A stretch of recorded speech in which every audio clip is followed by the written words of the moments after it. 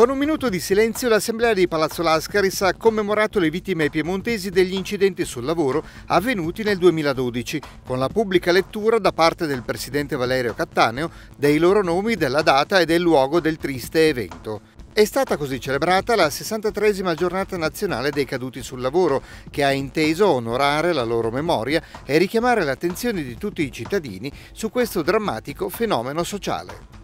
Molto importante per l'INAIL eh, la commemorazione dei, dei, morti sul lavoro proprio per il ruolo che, che l'istituto riveste proprio nella materia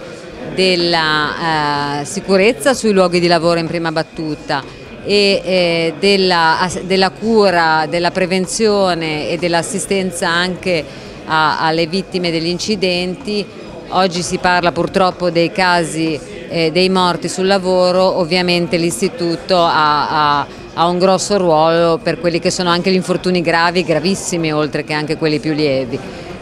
Quest'anno è terza,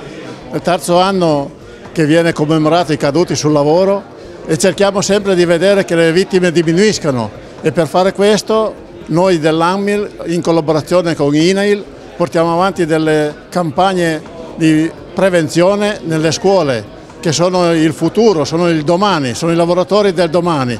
e fin quando non si avrà una buona cultura della sicurezza purtroppo i caduti sul lavoro non diminuiranno e speriamo che quando si è raggiunti una buona cultura il numero dei caduti non sia più due cifre ma sia meno.